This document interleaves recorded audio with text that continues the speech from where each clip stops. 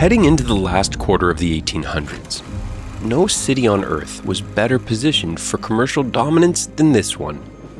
The capital of the Midwest had just fueled the Union's victory in the Civil War, and its high concentration of industries, situated along its many rail lines, vast lakefront, and re engineered river, was attracting thousands of new arrivals every month.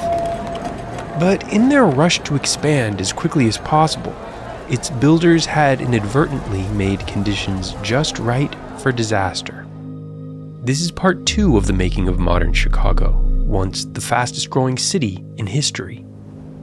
As we learned in part one, Chicago was the world's largest market for lumber. Not only did it supply its rapidly increasing population with boards and planks for their homes, but it also stored huge quantities of wood awaiting shipment to towns popping up all over the western prairies. The city is built without any concern for nature, without any concern for the realities of the prairie. Prairies burn. It's just, it's built because it's built for money. Do it quickly, make a buck, move on.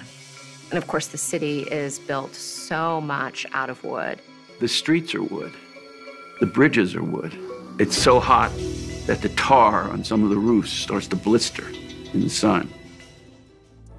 After an extremely dry summer, on an October night in 1871, a strong wind blew into Chicago from the west. Mystery still surrounds exactly what happened next, but somehow a fire started in a barn and quickly spread to other structures.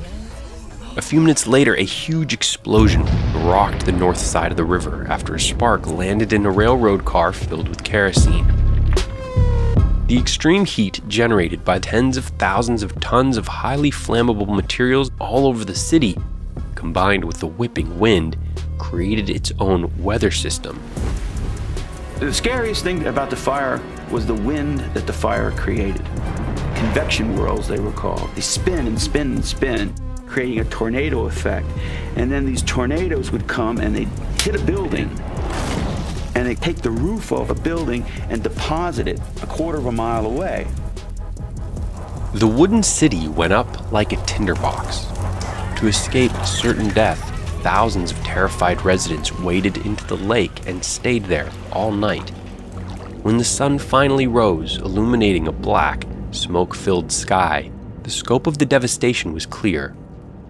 Over 17,000 buildings and 73 miles of streets were suddenly gone. Incredibly, only about 300 people perished, but over 100,000 were instantly homeless, a third of the city's population. It was one of the worst fire disasters in modern history. But some nearby areas fared even worse. The same windstorm fueled major fires all around the Great Lakes, most tragically in Peshtigo, Wisconsin, a town engulfed so suddenly that 2,500 people died and 1.5 million acres of surrounding forest burned. Cut off from the rest of the world when its telegraph lines were charred and eclipsed by the magnitude of property loss in Chicago, the little known Peshtigo fire is still the deadliest blaze in American history. Despite the apocalyptic scene in their metropolis, many Chicagoans not only stayed, but vowed to quickly rebuild. Fire provides a mythology. Chicago's going to rise out of the ashes, uh, does arise out of the ashes. How much of the city is actually burned? Well, you know, only a small part of the actual city is burned. But that's not the way we think about the fire. You couldn't take away Chicago's geography. It was still the gateway to the American West. Its railroads weren't destroyed. It still had these lines of track that were going to deliver its commodities to the rest of the country and the rest of the world. I visited with the Chicago History Museum's director of exhibitions to learn more. What many people don't realize is that it left the west side and the south side largely unscathed. And that was really important when it came to Chicago's ability to quickly rebuild. Because what you had on the west and south side were not only two thirds of the city's population living there, but you had the bulk of the city's industries. A lot of the lumber yards, that's where you had the steel mills, supplies that could still come into the city because the railroad network was also still largely in place after the fire. Many of the city's most prominent residents wasted no time trying to jumpstart the rebuilding process. However, bankers in New York were wary of losing their investments in another fire. To assuage their concerns, Chicago quickly adopted new building codes that mandated the use of less flammable materials like brick and terracotta, setting the stage for the largest construction boom in American history and a new architectural era. Hemmed in by water on three sides and railroad yards to the south, there was nowhere in the city's central loop district to build but up. Two innovations made the skyscraper possible elevators and structural steel. In 1885, the first steel framed high rise building in the world rose in Chicago instead of having a structure where all the weight is in the walls and it's kind of holding the structure together, in Chicago, architects began experimenting with using a steel skeleton or an iron skeleton or a frame that you can more or less then hang the exterior of, the building on. And that allows you to create much more dynamic, lighter, and, more flexible structures that can go significantly higher. You also get a lot more ornamentation. The exterior becomes less functional and more artifice. There's also though innovations in glass manufacturing, and, and Chicago architects are some of the first architects to kind of experiment with using increasingly larger plates of, of glass, which allows more natural light to come in. The start of the skyscraper age has transformed not only this city, but our entire planet. Today, Chicago still ranks among the tallest and densest skylines in the world but the inception of this period of development was a spectacle of organized chaos. The soot coming off the street, this cloud of smoke hanging over the city, the rush of people, this cavalry charge on the streets, streetcar lines all over the place, trolleys going along, the skyscrapers going up, a story every three days. People are watching like urban shows.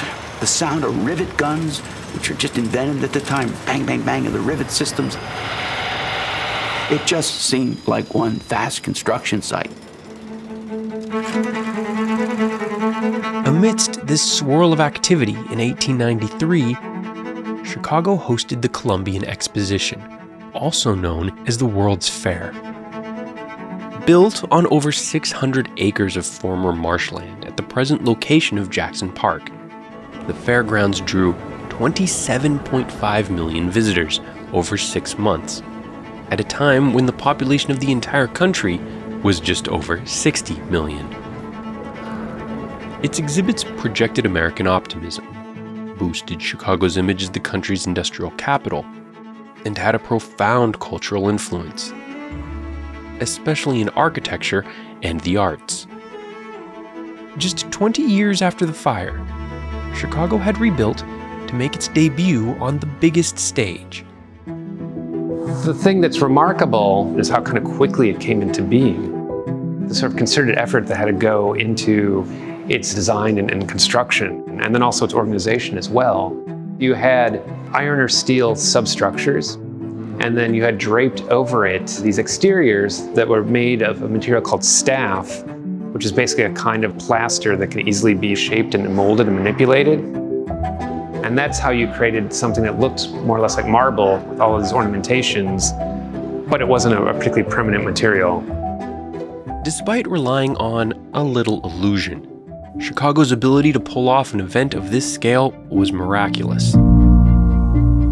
Erik Larson documented the feverish preparations to get ready for opening day in his brilliant book, The Devil in the White City which tells the true story of the prominent architect in charge of realizing the fair's grand vision. To build the fair, Daniel Burnham had confronted a legion of obstacles, any one of which could have, should have killed it long before opening day. Together, he and his architects had conjured a dream city whose grandeur and beauty exceeded anything each singly could have imagined.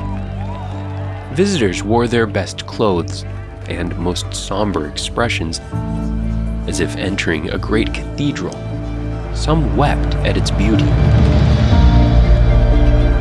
Whole villages had been imported from Egypt, Algeria, Dahomey, and other far flung locales, along with their inhabitants.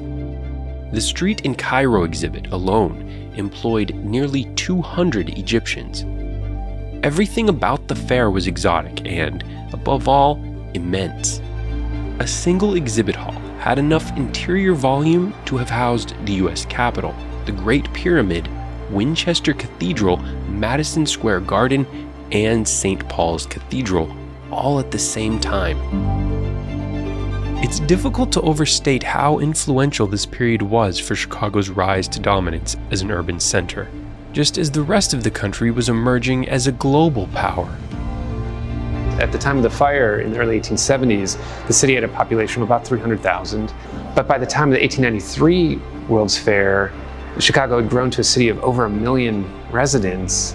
It had surpassed Philadelphia as the second largest city in the country.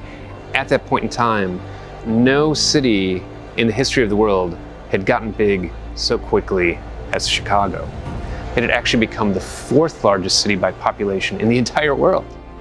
By the end of the 1890s, you had London, New York, Paris, Chicago. Those were the four largest global cities. Thanks for watching. In part three, we look at how Chicago's forward thinking leaders positioned it for success today and in the future.